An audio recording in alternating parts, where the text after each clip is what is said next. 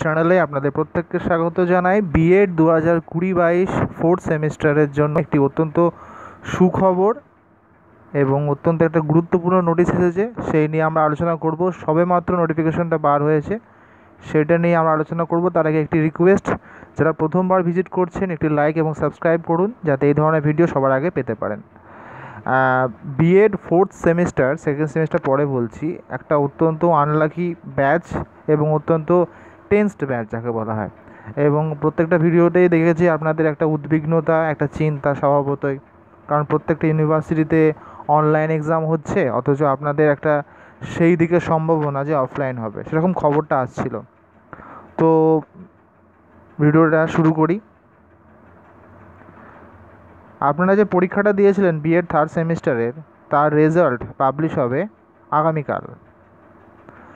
Sixteenth June দু হাজার বাইশ, দুপুর দুটোর সময়। অত্যন্ত ভালো খবর। এবং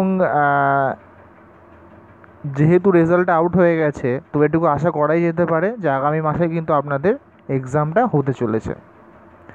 এবং এটাও আমি খুবই আশাবাদী, যদিও আমি বারবার ভিডিওতে বলেছি যে অনলাইন অনলাইন আমি কিন্তু আশাবাদী যে এমএডটা যদি অনলাইনে হতে পারে, যার লাস্ট পরীক্ষা হচ্ছে সেকেন্ড জুলাই তাহলে আমাদের বিএড ফোর্থ সেমিস্টারটা কেন হবে না? কেন বিএডটা অফলাইনে হবে?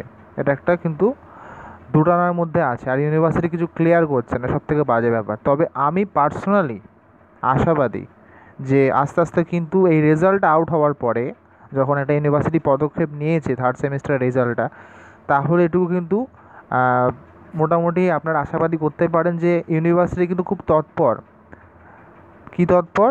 যে বিএড দু হাজার কুড়ি বাইশটা শেষ করাবে এবং বিএড দু হাজার বাইশ চব্বিশের অ্যাডমিশন কিন্তু আরম্ভ হবে আফটার ফোর্থ সেমিস্টার তো খুব আশাবাদী রয়েছি আমি। সত্যি মানে খুব ভালো লাগছে।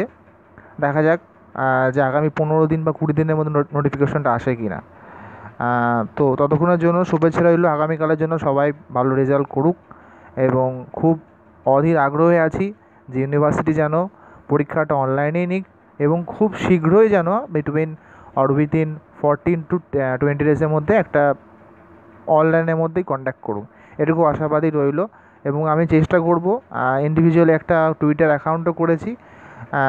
পিটিশন দিয়ে বা এই না দিয়ে অন্তত যদি আমি টুইটার ক্যাম্পেইন করতে পারি ক্যাম্পেনিং করতে পারি, কিছুটা হলেও হয়তো হেল্প হবে।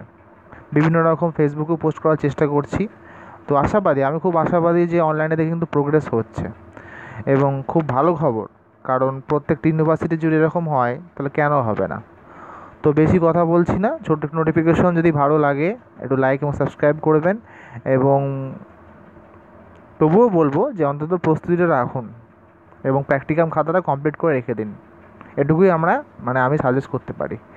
ভালো থাকুন সবাই, সুস্থ থাকুন, শুভেচ্ছা রইল আগামীকালের জন্য, এবং আশাবাদী যেন অনলাইনেই হোক ধন্যবাদ